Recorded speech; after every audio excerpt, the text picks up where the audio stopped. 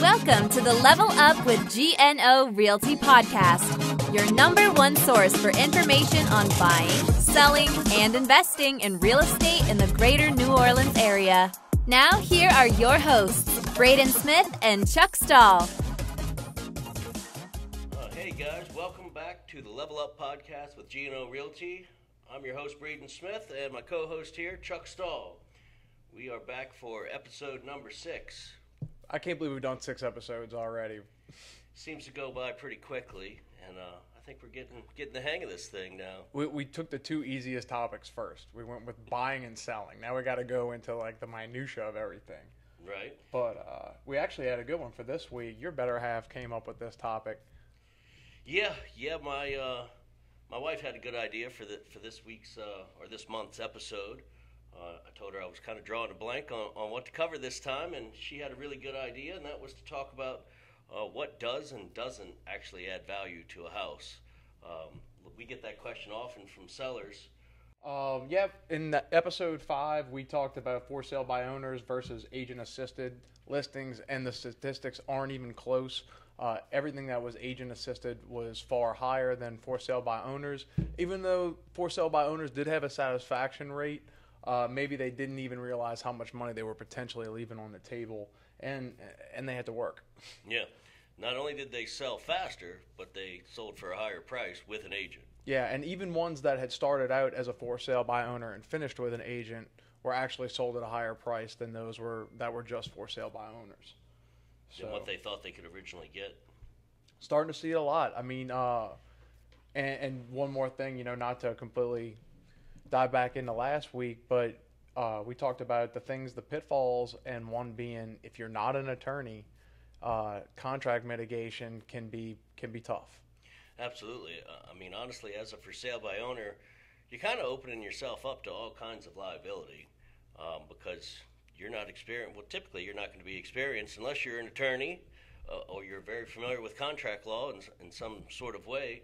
You're not going to be familiar with the contracts and all the paperwork that goes along with, with buying or selling a house. And so you're potentially opening yourself up to a lot of liability if, if something's not done correctly throughout the process.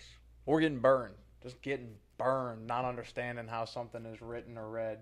Um, so we, we talked about those. We talked about the pitfalls, and uh, we're gonna go back into our uh, what we do every episode and give it a little market update. All right, so for some of the current market stats here, we've got uh, the sales price. Uh, the sales price keeps climbing as it has been. Um, I don't know if that can continue forever, but for the time being, it, it keeps climbing here. Um, we looked at some of the differences between some of the local parishes Orleans Parish, Jefferson Parish, St. Tammany Parish, with obviously Orleans Parish is the highest. And you can see the big difference between living in Orleans Parish versus St. Tammany. If you were looking to move somewhere or purchase, basically what, what that location goes dollar value wise.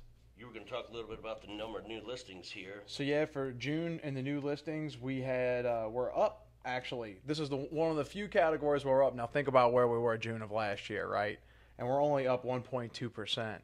So it's still kind of low, and it might have gone back around where you were talking about where we had that bottleneck, and now we can't sustain inventory. So even though we've got an increase, remember last year June of 2020 was, I mean, it wasn't that was about as low as we got, right? Yeah, yeah.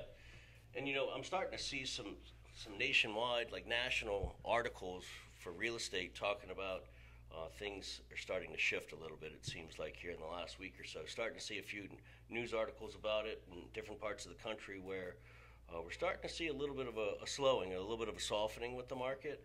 Um, but in my opinion, I think a lot of that has to do with just buyer fatigue. You know, I- I've personally got some buyer clients that I've been working with for the last couple of months, and they're worn out. It'll give you a thousand yard stare. It really will. Yeah.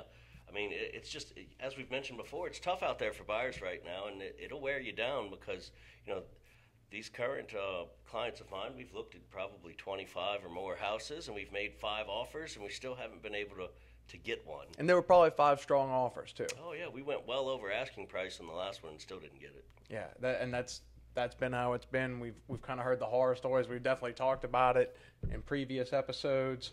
Uh, so new listings just for the New Orleans metro area overall, a slight tick up. hopefully that's a sign of uh, relief ahead.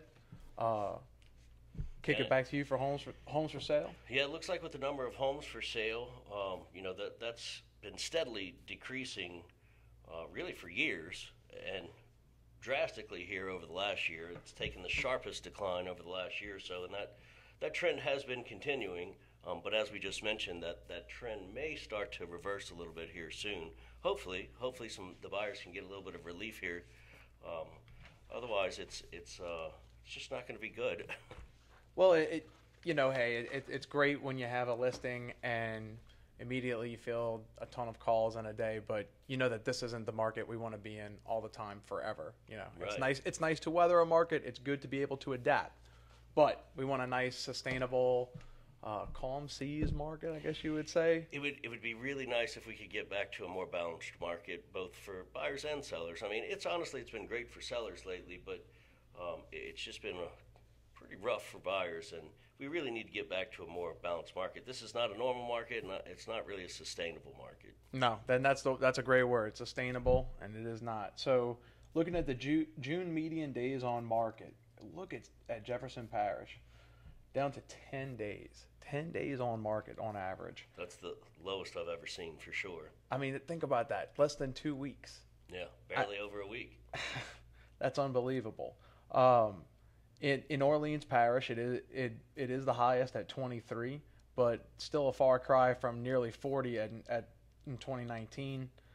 Um, go ahead and tell us about the months of supply. I mean, you said it before. I mean, it, it keeps going lower. Yeah, it keeps going lower, and, and uh, kind of an interesting point there is that the uh, the days on market are longer in Orleans Parish, but we have more supply in Orleans Parish also.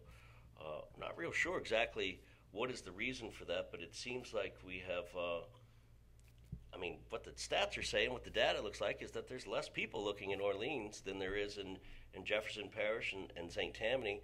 Um, but you know, that's kind of been the trend since this whole COVID pandemic started, is that we were seeing people moving away from the city centers, uh, looking to get more space, looking to get more house, looking to get more for their money, and then the, the whole kind of situation we talked about in the past where uh, people are able to work remotely. So they're able to live further out from the city if they don't have to commute, and that, that may be what we're seeing here in the data.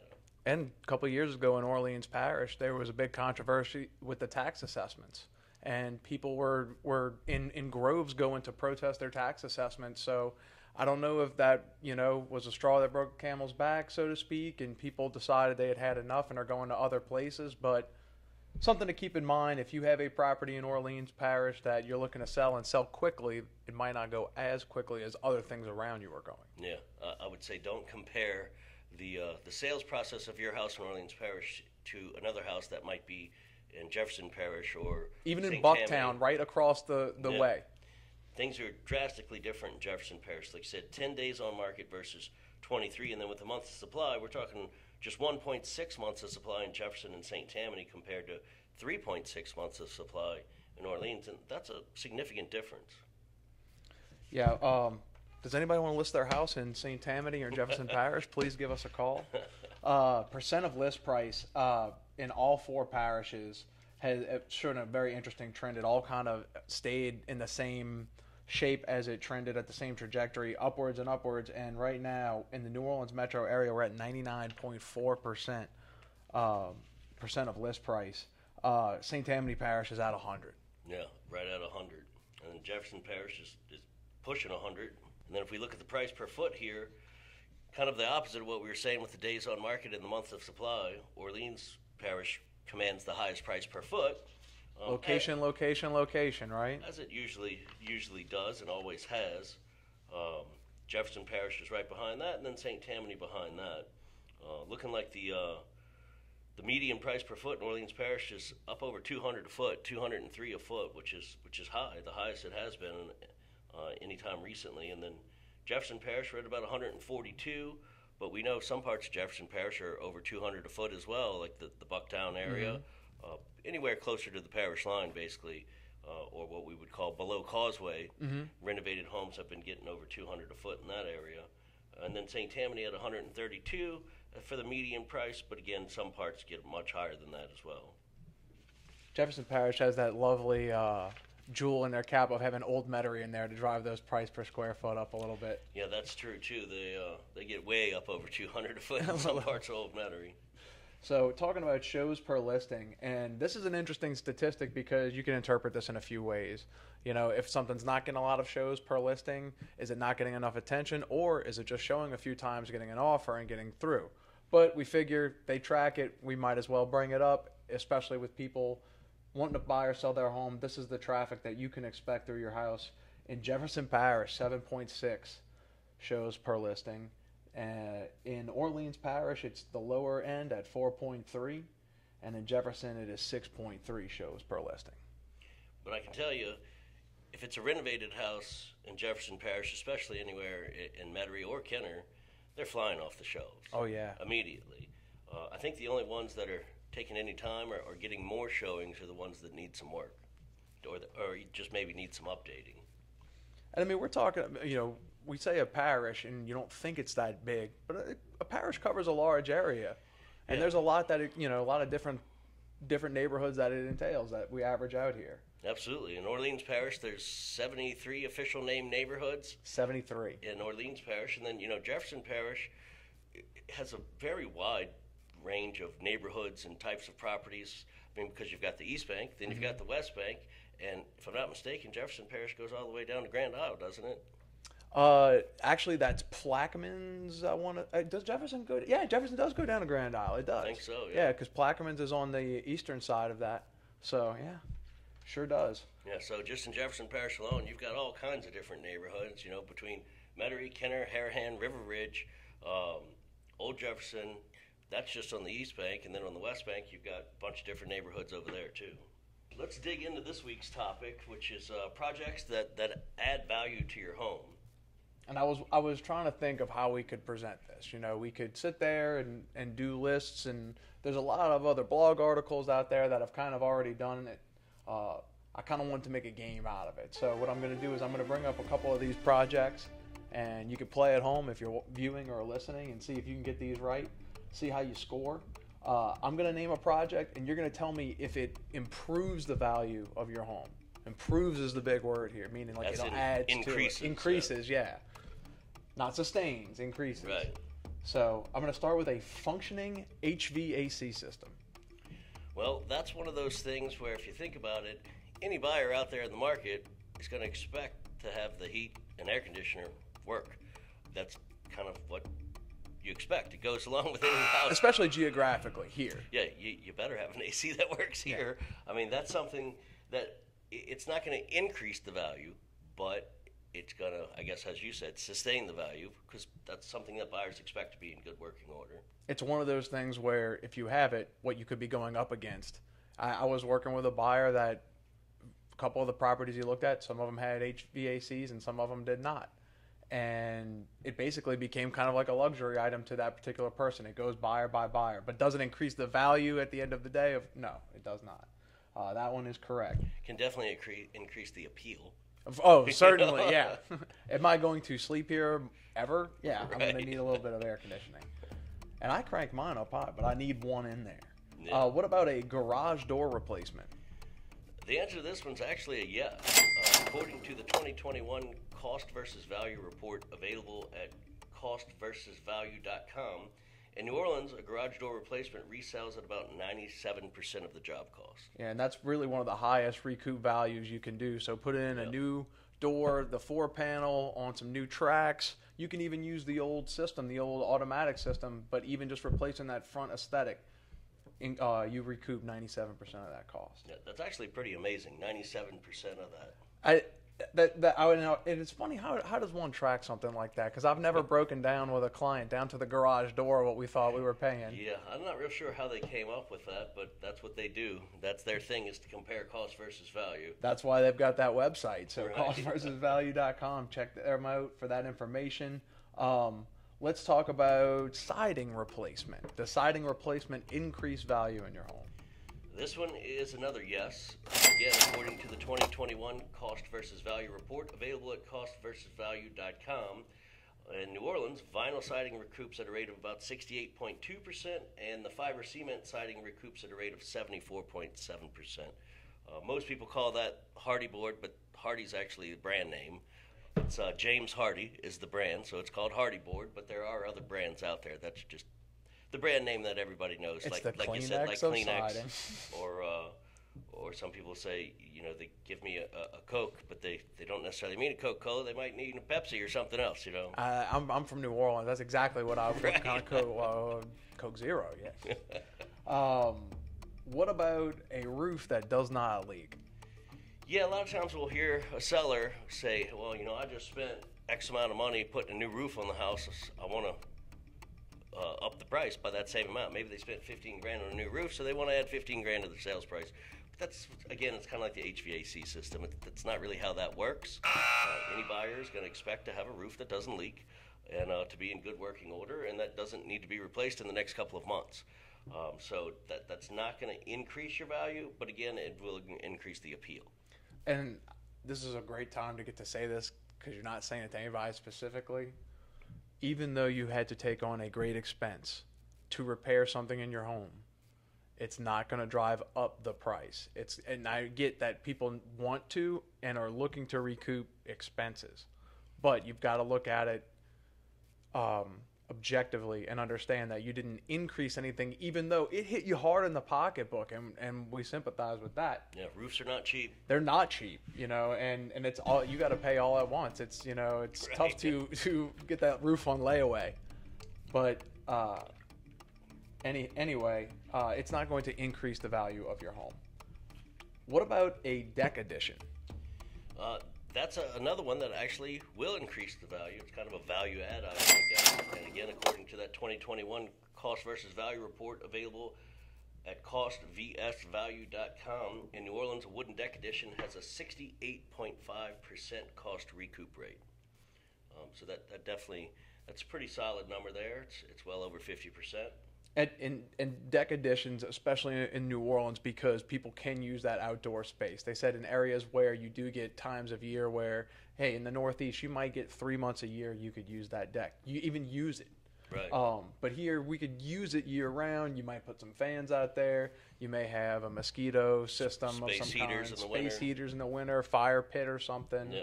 Um, but uh, yes, that deck addition, correct, will increase the value of your home.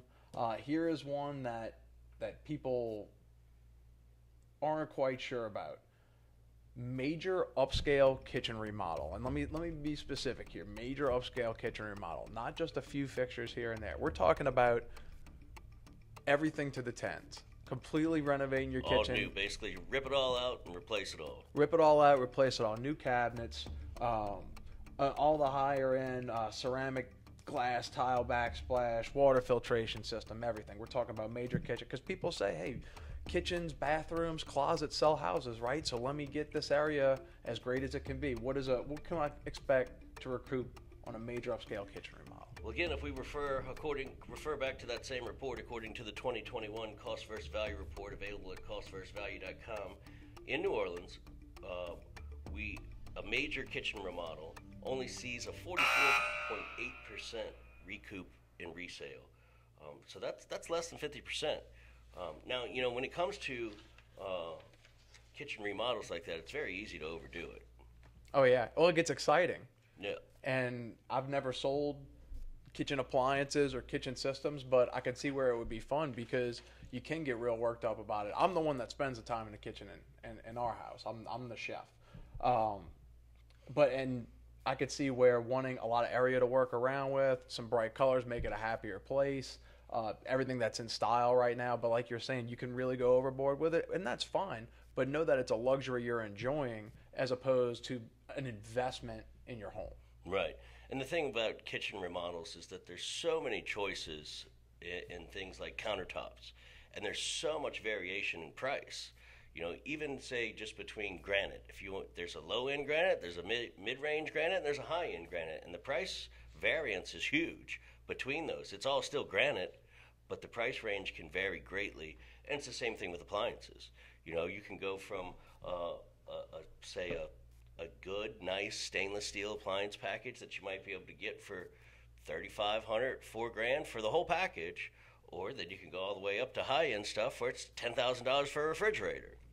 You know, so what you really want to do when you're doing a kitchen remodel, um, just to, to make a point about this here to all the listeners out there, is you really need to look at the comparable sales in your neighborhood or have your realtor do so for you. Look through the pictures, look at other updated homes in the area, and see what they put in their kitchens and try to go along that same range.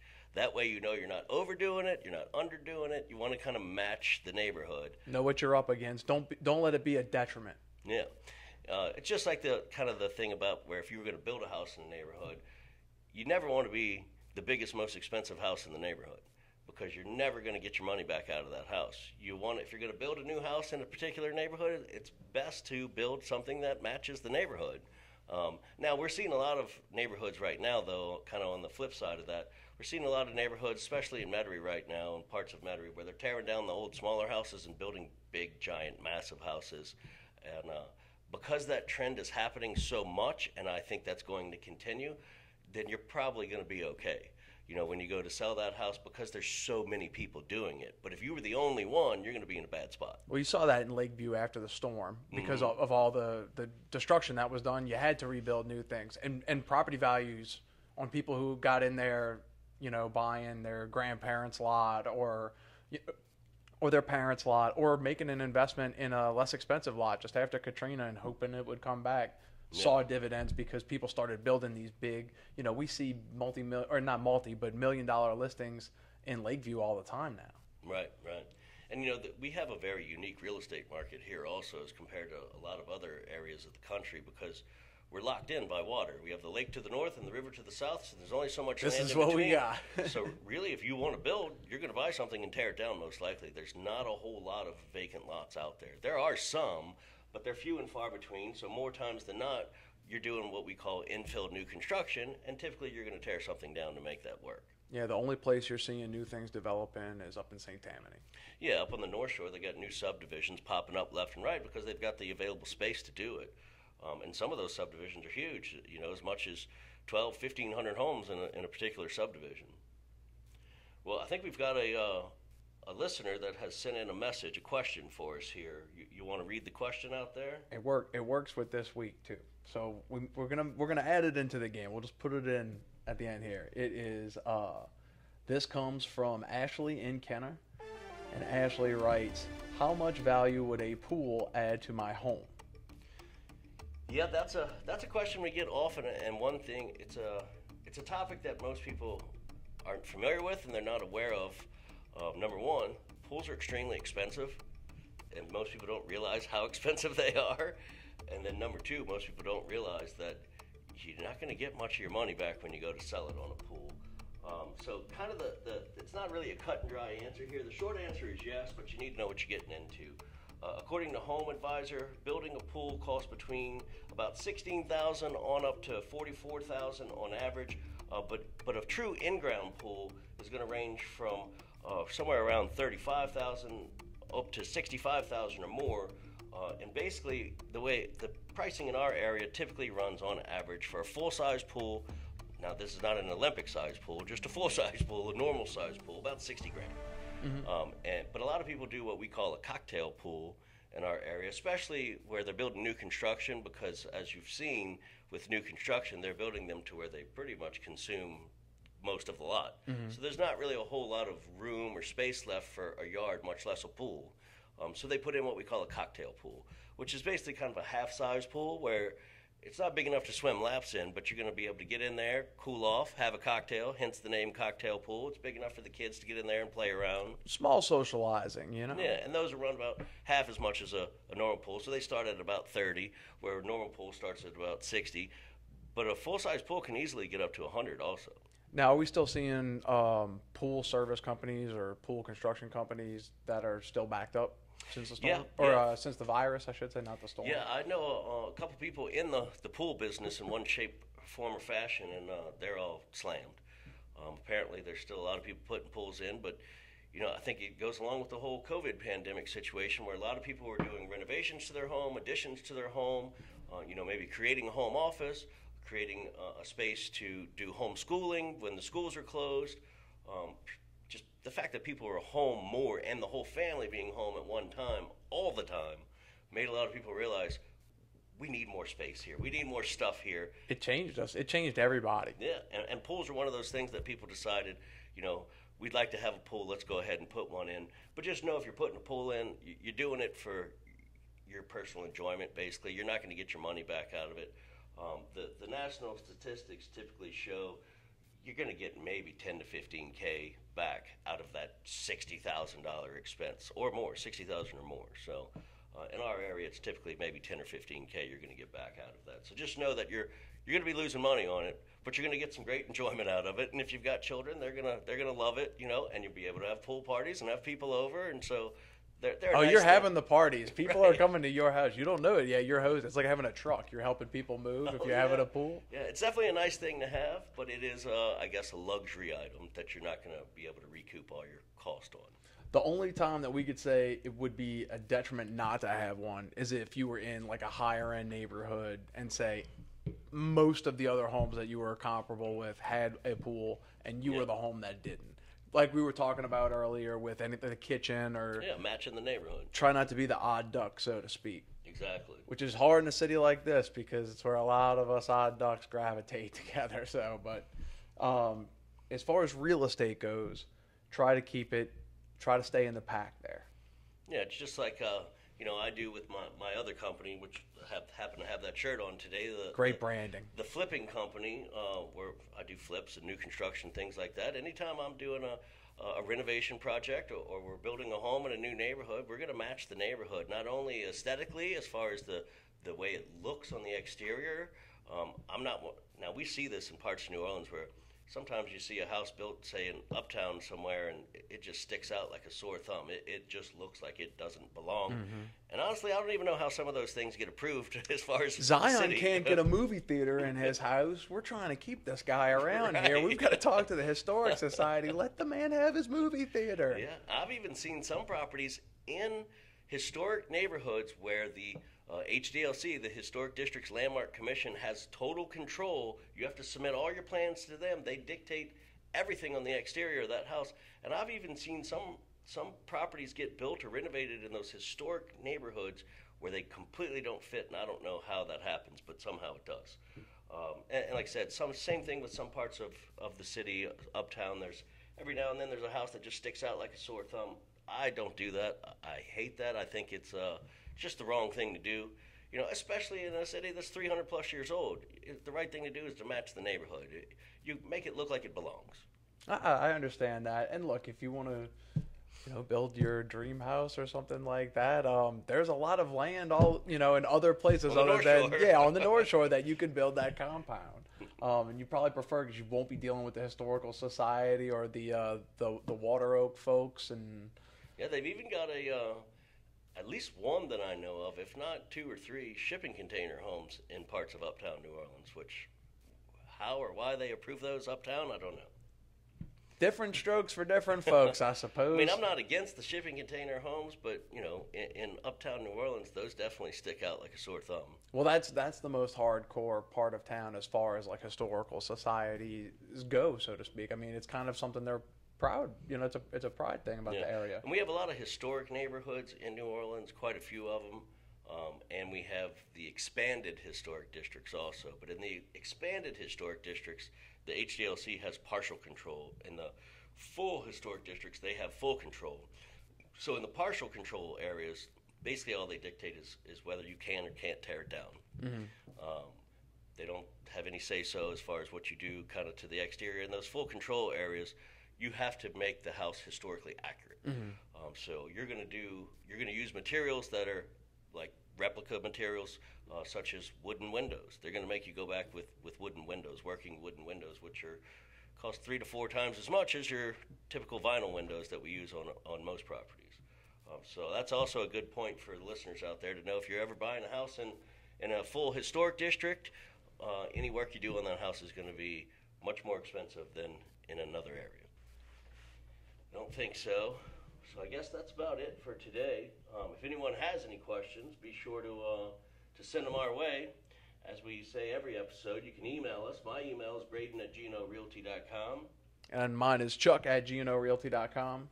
that's the uh, probably the easiest way to uh, get in touch with us. We, we have a Facebook page for the podcast also. You can message us on the page there, um, and then you can find the uh, the podcast on wherever you, you like to consume your, your podcast on all the major podcast channels. Um, on Anchor.fm, it's on uh, iTunes. Anywhere you get podcasts in your audio form, whether it's Apple Podcasts, Google Podcasts, Breaker, Spotify, and then of course we're on YouTube and, and smash down that subscribe button. Leave us only good reviews, please. Uh, that's the only ones we are accepting at this time. And um, make sure you hit subscribe at Level Up with GNO Realty on Facebook. All right. Thanks for watching, guys. We'll see you next time. Level up.